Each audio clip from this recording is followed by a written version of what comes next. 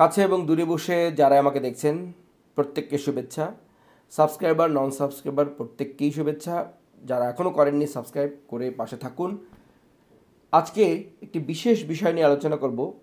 আপনারা অনেকে বিভিন্ন পণ্য বিশেষ করে যন্ত্র এবং যন্ত্রাংশ মেশিনারিজ এগুলির ব্যাপারে আমাকে জিজ্ঞাসা করে থাকেন এবং এগুলি কিনে নিতে চান।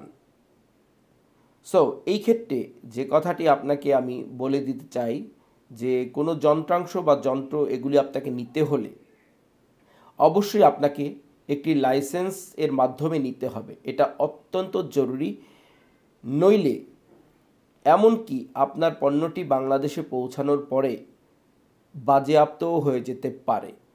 সো যদি আপনার নিজস্ব লাইসেন্স থাকে বা আপনার বন্ধু বান্ধব, আত্মীয় স্বজন বা এমন কেউ আপনাকে সাহায্য করছেন, তার লাইসেন্সের মাধ্যমে যদি আপনি আমদানি করতে পারেন, তাহলে সেটা হচ্ছে বেস্ট অবশ্যই আপনি এই ইনফরমেশনটি একদম আপনার জার্নালেও লিখে রাখুন এবং একদম ভালোভাবে আপনি বুঝে রাখুন যে লাইসেন্স অবশ্যই দরকার হবে। নইলে বাজেয়াপ্ত তো হতেই পারে। আর যদি বাজেয়াপ্ত নাও হয়, তাহলে আপনাকে কিন্তু কিছু সময় অপেক্ষা করতে হবে। সেটা ক্লিয়ার হওয়ার জন্য ক্লিয়ারেন্স বা আমরা যেটাকে বলি সে পণ্যটা খালাস হওয়ার জন্য।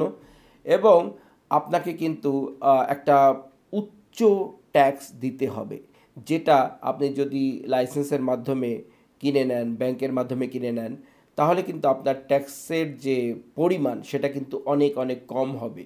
সো সেই ক্ষেত্রে আমি আপনাদেরকে বলব, যারা যন্ত্রাংশ, বিশেষ করে মেশিনারিজ আমদানি করতে চান, সেটা একটা হোক, দশটা হোক, যেটাই হোক আপনাদের একটি লাইসেন্সের মাধ্যমে করে নেওয়া অত্যন্ত যুক্তিযুক্ত হবে। আপনি আপনার ঝক্কি ঝামেলা থেকে বেঁচে থাকতে পারবেন। ট্যাক্সেশন আপনার কম হবে। সো সবচেয়ে বড় ব্যাপার হচ্ছে যে, একটি যে বাজেয়াপ্ত হওয়ার সম্ভাবনা সেটা কিন্তু আপনার থাকবে না। এবং এটার অনেক কারণ রয়েছে। কারণ হচ্ছে, এরকম মেশিনারিজ হয়তো অনেক আমদানিকারকরা আমদানি করেন। সো কাস্টমসের হয়তো ওই নির্দিষ্ট পণ্যের ব্যাপারে কিছু টার্মস অ্যান্ড কন্ডিশন থেকে থাকতে পারে। সো এইগুলি কিন্তু আসলে ভ্যারি করে। লাইসেন্স দ্বারা যারা নিচ্ছেন এবং লাইসেন্স ছাড়া যারা নিচ্ছেন, তাদের মধ্যে কিন্তু আইনে ভ্যারি করে।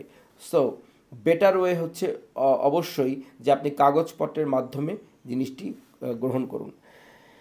মাঝে মধ্যে অবশ্যই হয়তো কিছু কিছু জিনিসপত্র এভাবে মানুষ পাঠিয়ে থাকে, কিন্তু সব ক্ষেত্রে এটা সম্ভব হয় না।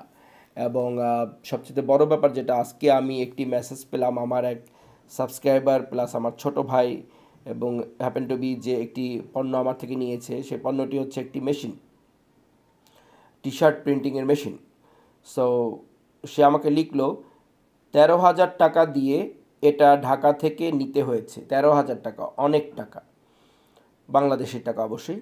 সাধারণত কোনো কোম্পানি ছাড়া, ট্রেড লাইসেন্স ছাড়া, এই যে কাগজ বা লাইসেন্সের সহায়তা ছাড়া, এই মেশিনগুলো বাজেয়াপ্ত করে দেয়।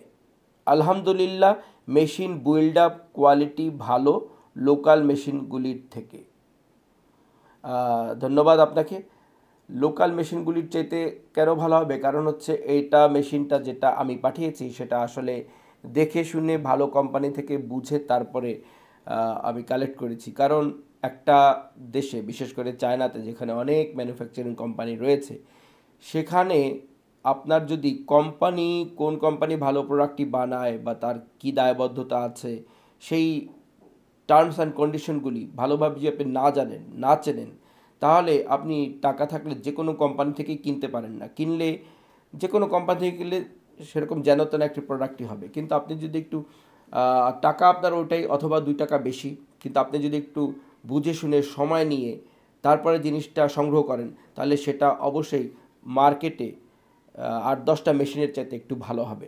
সো আমি আশা করব আপনারা সকলেই এই দিকটা নজর রাখবেন যে বাংলাদেশে নিজস্ব কাগজপত্র থাকা অত্যন্ত জরুরি এবং আপনি ইচ্ছে করলেই এটা করে নিতে পারেন। হয়তো একটু সময় লাগবে, একটু আপনি ঘোরাঘুরি করতে হবে, কিন্তু এর যে একটি সুবিধা, সেটা কিন্তু আপনি অবশ্যই পাবেন। তো যাই হোক, আমার সেই ছোটো ভাইকে ধন্যবাদ, তিনি মেশিনটি পছন্দ করেছেন এবং আমিও মেহনত করেছি সময় একটু লেগেছে। সো যাই হোক, আপনারা সকালে ভালো থাকবেন আর এই জিনিসটি মনে রাখবেন, একদম মেমোরিতে লিখে রাখুন, আপনার মেমোরিতে ছেপে রাখুন এবং আপনার যে ডায়েরি আছে বা বিজনেস জার্নাল আছে, সেটাকে লিখে রাখুন। যে আমি কিছু আমদানি করতে গেলে অবশ্যই আমি আগে কাগজপত্র সংগ্রহ করব এবং তাতে করে কিন্তু আমি সব জায়গায় যেখানে আমি যাব, সেখান থেকে কিন্তু খুব আসানিসে আমি কিন্তু কাজগুলি করে নিতে পারব এবং আমার খরচ কম পড়বে। সো ধন্যবাদ। এই ছোট্ট ভিডিওটি দেখার জন্য আপনাদেরকে অসংখ্য ধন্যবাদ এবং আগামী ভিডিওতে আমরা নতুন বিষয় নিয়ে সামনে আসব। খোদা হাফেজ।